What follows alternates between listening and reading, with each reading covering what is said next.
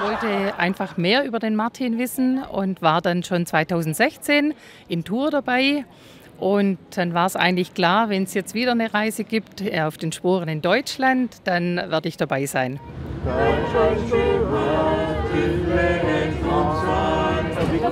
schön. Schön, da muss ich wieder sehen. Ja, ja, danke. Ja, wir mussten ja die Wallfahrt öfters verschieben wegen Corona und ich bin jetzt froh, dass es auf den dritten Versuch hin jetzt klappt.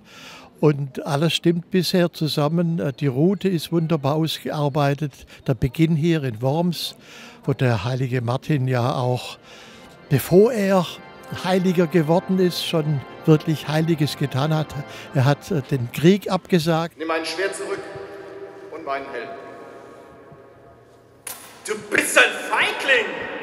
Dieses Ereignis, von welch großer Bedeutung und Aktualität dieser Heilige auch für diese Stunde, für unsere Zeit jetzt in Europa ist.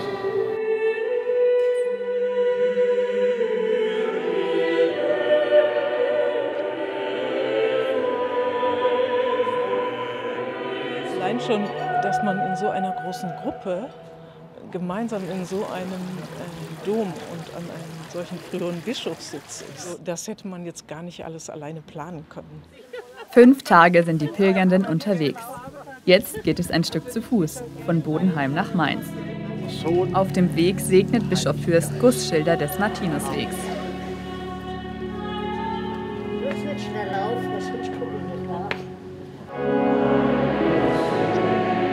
Gemeinsam den Tag zu beginnen mit Gebet und Gesang, das war einfach wunderbar. Die Wanderung durch die Weinberge war für uns was ganz Besonderes, denn bei uns zu Hause gibt es keine Weinberge. Es waren nette Gespräche und äh, viele interessante äh, Persönlichkeiten, die man da kennenlernen konnte. Nach der Mittagspause läuft der Mainzer Bischof Peter Kohlgraf ein Stück des Wegs mit. Mit dem Pontifikalamt im Mainzer Dom wird der Martinusweg im Bistum Mainz offiziell eröffnet.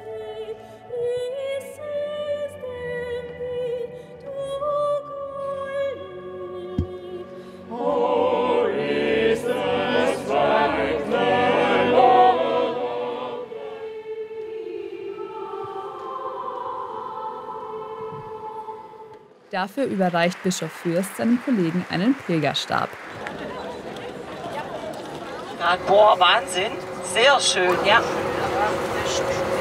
Da oben sind wir dann im Hotel auch untergebracht. Also mit einem schönen romantischen Blick runter auf Trier. Der Tag in Trier beginnt mit einer Andacht. Danach erkunden die Pilgernden, wie immer auch in Gebärdensprache, die Stadt auf den Spuren des heiligen Martin.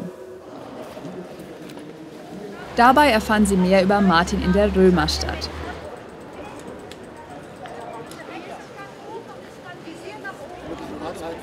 Und wie sich die Zeiten änderten in einem kalten Winter, als der Rhein zufror und die Germanen einfach drüber laufen konnten. Und dann war es hier ganz schnell vorbei mit dem römischen Imperium. Ja, was er hier erlebt und erlitten hat, das ist ganz viel. Also zeigt sich die Begegnung mit den Kaisern, das zeigt sich in Wunderheilungen, die er hier gemacht hat, das zeigt sich in seinem Waterloo im Trierer Dom. Was er hier erlitten hat, hat ihn zutiefst erschüttert. Es war schon etwas Besonderes, als christliche, frühchristliche Kirche in dieser Zeit Echtfarbe zu bekennen. Und das imponiert mir an dem heiligen Martin. Am nächsten Tag geht's weiter, Richtung Luxemburg. Diese Lebensbiografie des heiligen ähm, Martinus, das können wir heute auch wieder in unserer Zeit zurückgreifen. Das ist für mich das Wichtigste. Das ist aktuell wie je, gerade auch in unserer politischen Lage. Er ist eine wichtige Persönlichkeit auch für uns auf dem Weg in Europa. Dann zuvor war Luxemburg